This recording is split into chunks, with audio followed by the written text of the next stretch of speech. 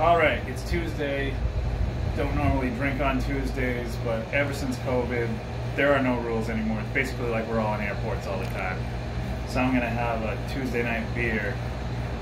And uh, somehow I'm here on Tuesday after going to the beach on Sunday, and I'm not burnt to shit. So I guess I can thank bathing in SPF 100 for that, and staying under an umbrella the whole time for the lack of burn on me. I don't like going to the beach. I don't understand why people want to go to the beach.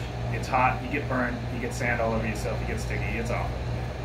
Anyway, changing gears here, I have a stout from a brewery in San Diego, Abnormal Brewery. This is called Simply Different. It's a mocha stout.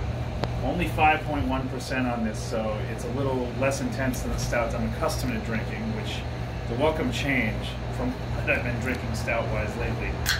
Let's see what I have here.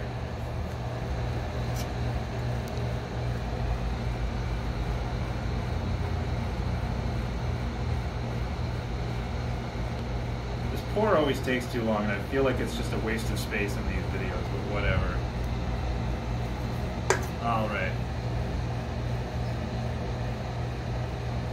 Smells very basic. Not getting a whole lot of mocha or chocolate.